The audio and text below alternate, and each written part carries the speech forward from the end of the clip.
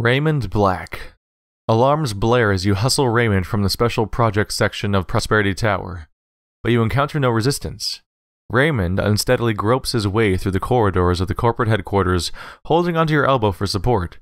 Occasionally, the old man fingers the gauze dressing on his head with his free hand, wincing when he touches a tender patch. Tense minutes pass between the time you exit the building and enter the MTR station. The team remains on high alert, scanning the streets and buildings for signs of Tseng security forces until, like a stream of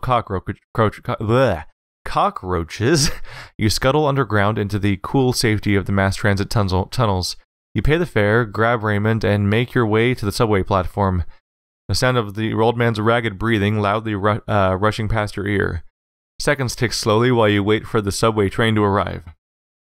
Sorry, I'm a little, I'm a little shaky and jittery right now because I was just doing the final boss of Super Meat Boy and failed. I have not beaten him yet.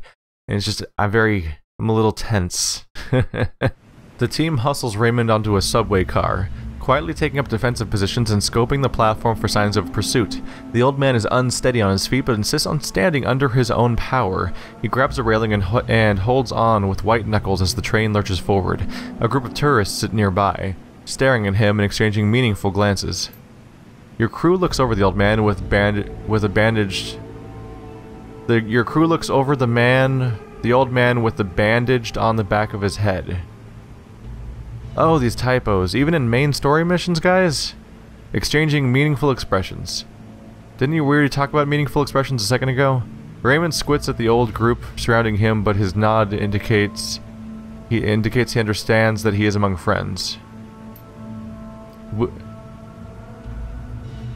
Wu drags his goggles off his head, bending his knees to get a better look at his foster father. A tangled knot of relief, compassion, resentment, and hurt turns in his younger man's face as he wrestles his with his confined emotions, confused emotions. Isn't that how you say dialogue in this game? Uh, isn't it supposed to be in brackets or something if it's not an... Yeah, exactly. Another another mistake in the... Wow, two mistakes in a very important scene. Did they not revise this at all? Alright. Fear for his father's health overcomes them. Raymond, are you alright, little man? I fought against the reprogramming. The old man's voice is little more than a soft croak. His eyes are sunken and surrounded by dark circles. His mother's medical technology must be amazing. It's hard to believe he's walking under his own power so soon after the surgery. Yeah, well, Grandma's an amazing woman. Her high-tech brain surgery, her ownership of the corpse, of the cops, her execution of my partner and those runners. Wu's face hardens and stands up and he stands up straight. Gla glaring at, down at the older man. Are you, are you trying to say Wu's Wu's face hardens and he stands up straight? Because his face can't stand up straight. That'd be weird. Oh well. Oh, and the way he said, the way she had the plastic-faced man snatch her own son. Amazing woman. Let's get some answers. Yeah, you're right. That's what I want, what I want more than anything. Pain and bitterness drip from Wu's deep, raspy voice. This man, whoever he is, has a lot of explaining to do. Are you ready to start telling the truth, Edward? The old man tilts his head up to the orc towering above him, and although exhausted, his jaw sets firm. Yes, Duncan. I'm ready to tell you everything. I had planned to explain it all when you arrived in Hong Kong. We're here now, Ray. You are here, and I am grateful for all you have done for me, all that you needed to do. It's more than just exhaustion, the words are challenging for him to speak. The old man leans back on the wall of the subway car and gathers his thoughts. He seems to swoon for a moment, but he then inhales deeply, swallows hard, and pulls himself erect. My name is Edward Tseng. I am the only son of Josephine Tseng, the CEO of Tseng Mechanical Services.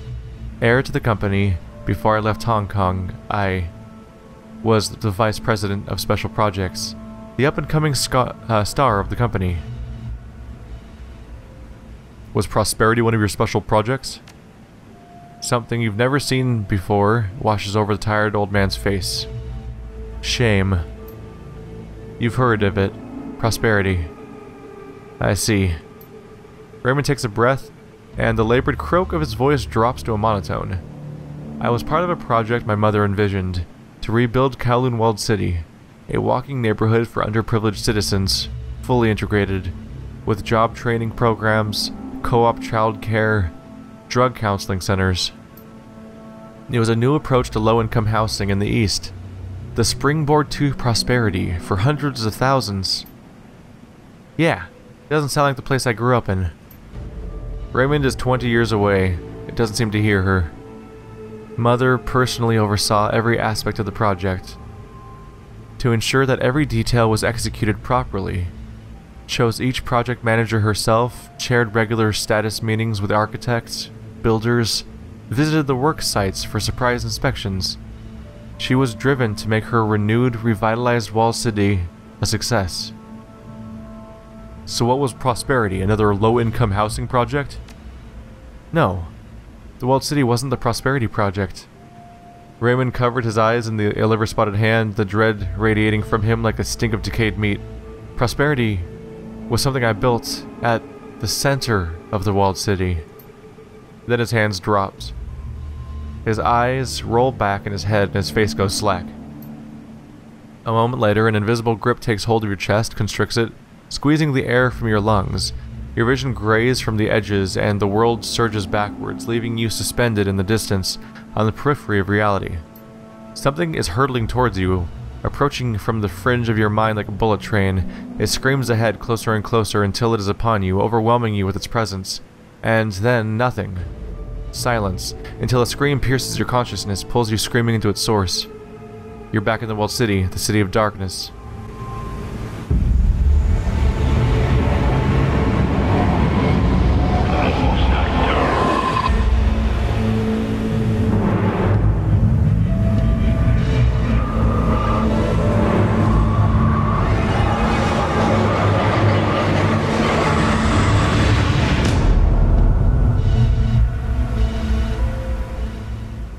One definitely gives me the Mass Effect vibe.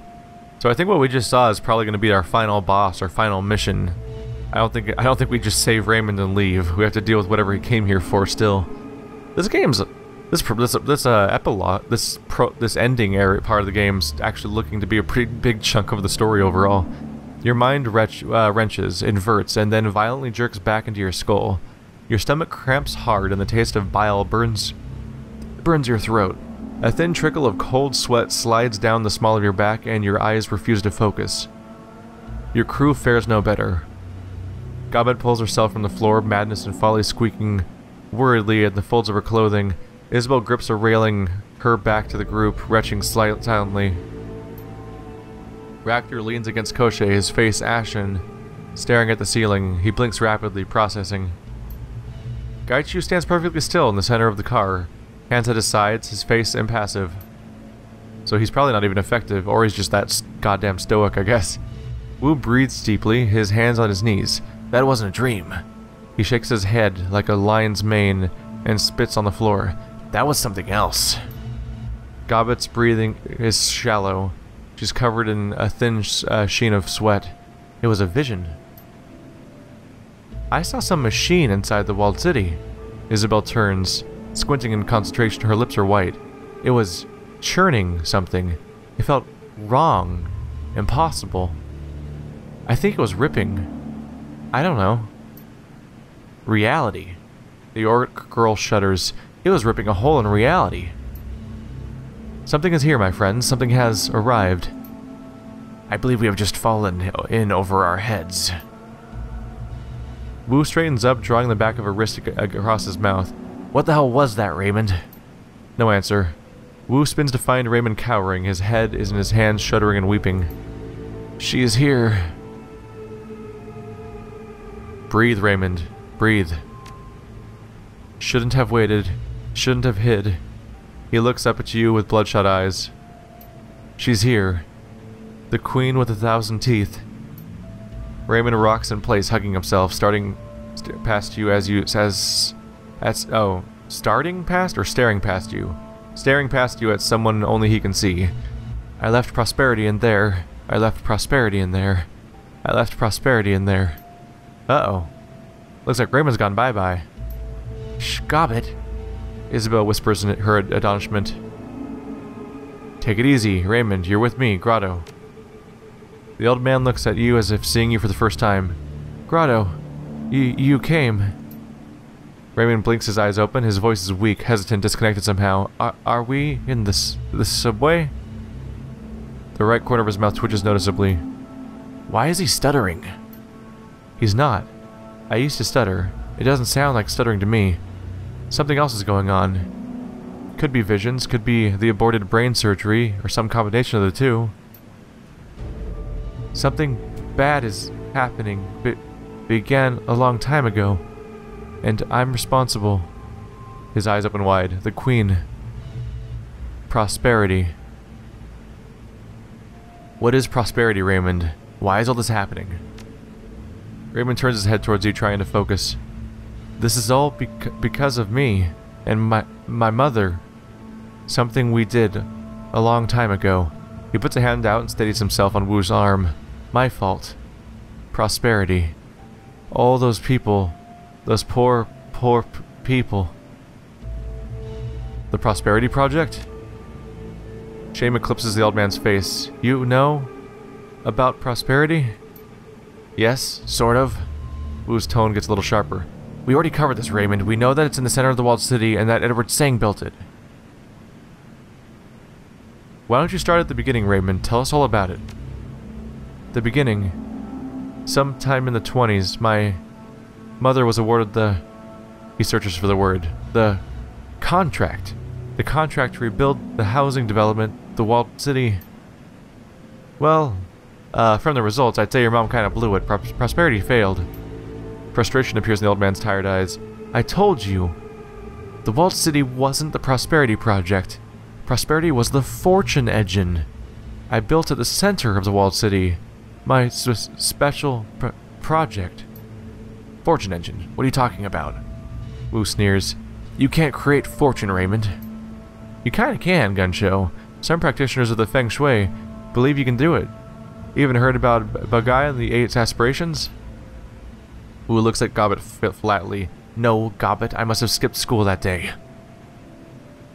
Keep going, Gobbet. Gobbet wrinkles her nose at Wu.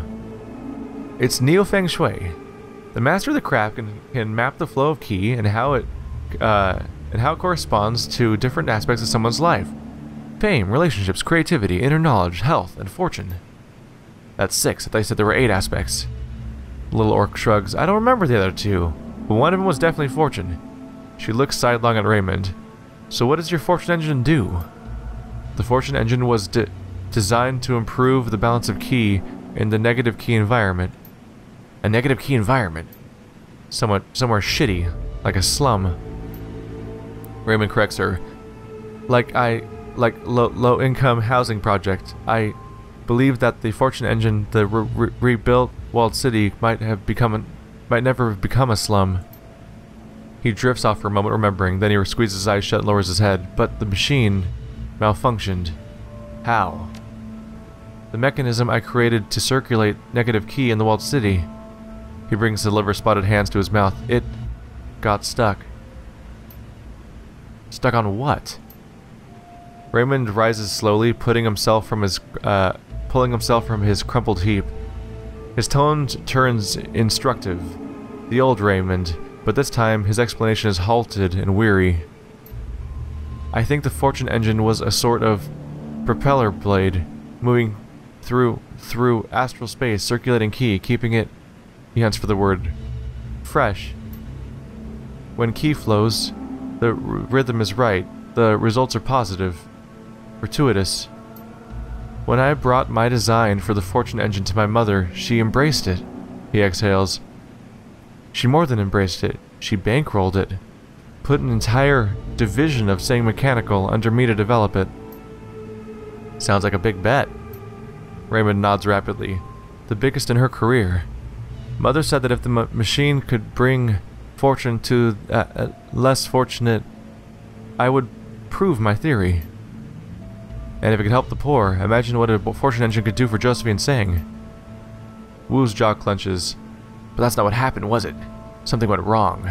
The people in the walled city didn't benefit from your fortune engine, did they, Raymond? The old man bows his head, doesn't answer. Dad? Dad, what happened to your fortune engine? Raymond's response is barely audible. It got stuck. The mechanism I created to... to... to circulate negative ki in the walled city got stuck. You can see Wu's patience blowing away like autumn leaves in the high wind. He rubs his head viciously in frustration. Stuck on what, Raymond? The old man gets a confused look in his face. His lips move soundlessly for several moments. Stuck on what? Raymond winces at Wu's tone and stumbles back a, a step, but it, it, does the job and the old man focuses. Something in astral space. I wasn't sure what. Oh, sounds bad. The machine started pooling negative ki. The old man's breathing becomes to begins to accelerate, and the walled city started to fill it with fill with it. Fortunes turned bad. I've been in places where the feng shui is really bad. That's not what I felt when I was in the walled city. No. Ki needs to flow. Eventually, the enormous pool of negative ki became toxic. Fortunes turned from bad to worse, much worse. Raymond's shoulders slump. Mother's vision for a rebuilt, revitalized walled city fell fell to ruin. It took a few years for the trapped toxic ki to turn a brand new housing development into a hellish slum. Why did you turn it off? I couldn't. Something happened. Part of the malfa function. We couldn't turn it off. Then why didn't you blow it up? Wrap it in C6 and turn it to a scrap heap. Mother refused. Why? I never found out. She wouldn't tell me. She would only say that it wasn't worth spending the additional re resources to figure out how to fix it, or even how to turn it off. Words start to spill out of the old man. She sealed off the maintenance room. Our engineers should put a, a, a sarcophagus of thick concrete around it so that no one would ever find it, ever find out what we had done, like Chernobyl. Then she wrote off the project as a business loss and moved on like nothing had ever happened, right? Yes. His face flushes and he fidgets with the gauze bandage on his head. A after that, I left Hong Kong, started a new life in Seattle, found you to, to you should have stayed. Tried to do something about it. Wu grimaces, disappointed. You were a coward, Raymond. Yes. Raymond stands up straight, takes a shaky step towards Wu. Yes, Duncan. I was a coward. And the guilt, the burden of my cowardice gripped me like a vice that never loosened. It's eaten me from the inside for 20 years. He licks his lips, tries to breathe, and then the the nightmares began horrible. Still, I kept working on the problem, night and day. That's that work you kept on your in your study all, the, all those hours in the morning. It took me years, even after you left, to make the connections, find what to do. But I did. I figured it out. And still the nightmares intensified until they became unbearable. I knew I had to come back, fix what I had done. That's why I contacted you, to help me see it through. Wu mumbles something, but all you can make out is the word coward. What about the, the rip in reality we saw in our vision? Raymond's voice flattens. When the machine malfunctioned, when the circulator became stuck in astral space, it lodged in another uh, domain. He sways and his lips begin to tremble, and something lived there. Not good. The old man begins to drift. After 20 years of constant force, the circulator finally began to, to tearing astral space, created a rupture in her domain. He begins rocking in place, and now she's pushing through, and now she's pushing through, and now she's pushing through. Yes, she's pushing through alright. Wu snarls at his foster father. The queen with a thousand fucking teeth. A thing you brought here, Raymond. Raymond stops his rocking, becomes fully lucid. He snaps back at Wu. I understand that, Mr. Wu. That's why I came back. I believe she is only partially here. She hasn't pushed all the way through yet. She's probing her new hun hunting gr ground. Must. The emotion strain of the snap at Wu rattles him again. I know what to do now. How to uh, uh, extract the circulator, shut the machine down, before she can fully manifest. She gets to the just get me to the center of the walled city, to the fortune engine. I will do the rest. Please, help me. Help them. It's a lot of options there. You can say you can say that we're paying back all the help he did when we were kids. Let's see. You can say there's something in there that needs to be sent home. Or these visions are turning my guts inside out. Let's stop them at the source. The walled city is a serious revenue source the triads. If we fix this, kindly Cheng will show, shower us in gold. You can you can say you're doing this for kindly Cheng of all people. Uh, the Duncan is the machine has caused unspeakable misery. It needs to be shut down. Yeah, Duncan's right. There's a thing in there, and it needs to be sent home. The little Decker's eye, oh, eyes open wide, more wide than than Iris. Her breathing becomes faster, shallower. It's not just a thing, handyman. It's a Yama King. A demon goddess. I don't know if I can do this. I don't know if I can go back in there. We're trapped, is. We can't run, and believe me, I want to. It's all I've been thinking of. The rat shaman's shoulders rise with tension. But the APB's still out on us, and, and those visions?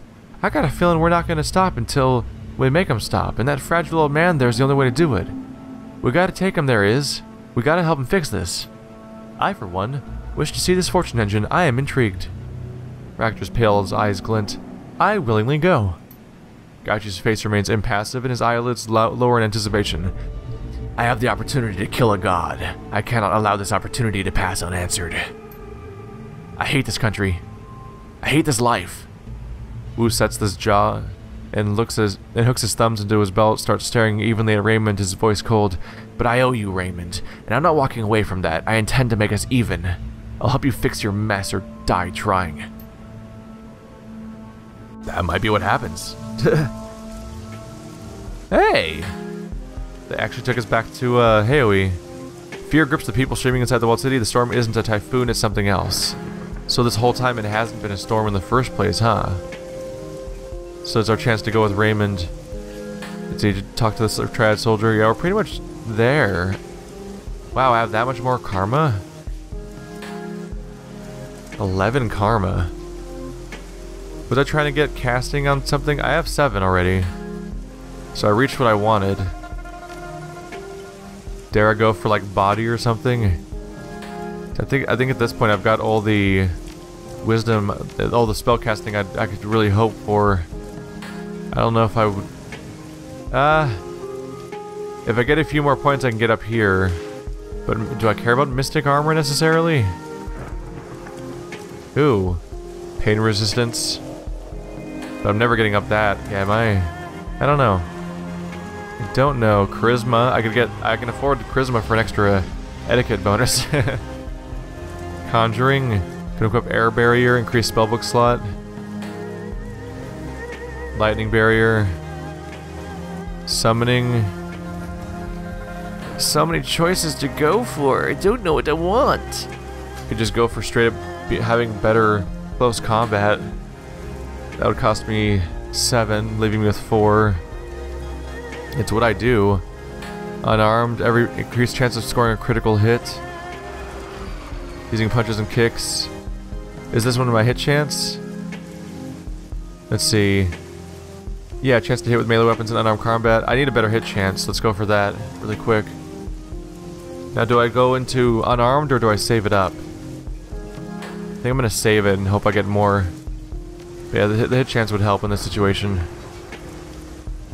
Alright. There's a lot of dialogue to get through. How's everyone doing around here, guys? Triad guards trying to stop me? Five people, all reeking of triad, huddled together to, next to your crew, muttering among themselves and pointing at the towering slum. One of them notices you and pats another on the chest with the back of his hand. It's the man who's been guarding the walled city entrance since you arrived in Heoi. He acknowledges you, a look of doomed determination on his face. Miss Cheng sends her regards. She told us to keep an eye out for you. What for? Miss Cheng wants to know what the hell is going on inside the walled city. She sent us to find out and report back to her. The Triad soldier's hands shake. He sees you notice them and pulls them behind his back. She says that if we saw you heading in there, we should go with you. We'd have a better chance of staying alive. Looks like I have backup people. Maybe it's maybe this is only happening because I have I wonder if it only happens if you're on good terms with Cheng or if it only happens just if it always happens. She's right. Soldier's mouth freezes in the thin line. We can take care of ourselves, Westerner. He lo looks sidelong at his friends, but Miss Cheng said to follow your orders, so that's what we're doing. We need to provide we need to provide for our families. The group of triads nod to each other in forlorn unity as they take in the panic around them. The storm, the flood of people, the towering tenement, and something else, a wave of something emanating from within. Do you feel that? Gobbet holds her stomach, madness and folly squeaking their disapproval. It's like the walled city's bad breath or something, she groans. It's disgusting. I feel, I don't know, unclean, just looking at the place. Like life has no value or something. Like there's just no point to anything. That's the toxic ki. It is exactly the point. We need to get rid of it. Fix it at the source if I can. Raymond stares at the walled city, taking it in for the first time. The breath hitches in his chest, but the old man greets, grits his teeth in grim determination. The Fortune engine is lo located at the heart of the walled city. That's where I need to go. I'll drop a marker in the center of the walled city, on everyone's PDA handyman. We should be able to weave our way through to the machine. Got it, let's go. Oh, Raymond, what's the best route to take? The old man shakes his head painfully. The gauze bandage covering his new data jack catches a flash of, jet of lightning. Twenty years since I stepped foot inside. Wasn't nearly this size then. N no, no idea how to get there now. Only where we need to go. We can take advantage of the chaos. It may cover our approach in case someone is trying to stop us. We should split up. Keep Raymond back and out of harm's way. Look around, Gunshow. This whole place is in harm's way. It'll be safer if we split up. Handyman leads some of us to the to the clear way of the machine. Auntie's men can follow the rest of us. Escort Raymond. One way is once the way is secure. Wouldn't Raymond be safer with a larger group? Higher chance of success this way. If we go in one group, one chance of success. But if the first team is killed, lost, the second can still find another route. Still have a chance. Both teams, use your comms to stay in touch. We have no idea what we're going to face in there. I'll be right behind you, Grotto. Take care of yourself. I hope you know what you're doing, Ray. I do, Mr. Finch. It's time for me to finally take action. No more coward cowardice. He exchanges he exhales off softly and starts at the walls stares at the walled city unflinching. This is the end of prosperity. Good luck everyone! It's probably the ending ending, so it's about time for people to die if they're gonna die. Uh, what should I expect? Uh, should I should I expect to be using a Decker? Uh, I don't know what plan to take. It feels like a final boss fight kind of situation, doesn't it? Like maybe I'd want like Gaichu, Racter, and Gobbet? A support caster and a strong offensive character and someone who has the badass robot that can do a ton of turns per round? Nah, instead of Racter I probably want Duncan. Duncan's just flat out good out of the box as a caster, as opposed to being good for other uh, with when using a robot. I don't know. Uh, I'm happy with this party. I think. This is what multiple saves are for, after all. If I ever, if I think I'm genuinely screwed.